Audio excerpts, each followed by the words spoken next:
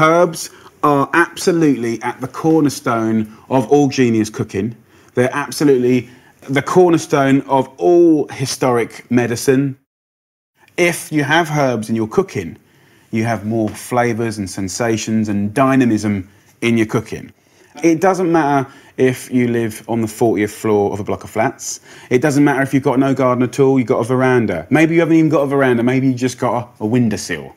Fresh herbs, at the very least, uh, down the market are the minimum.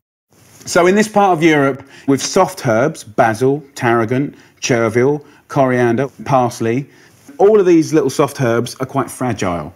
So you kind of have to restart them every year. But woody herbs, thymes, oregano, um, bay leaves, sage, rosemary.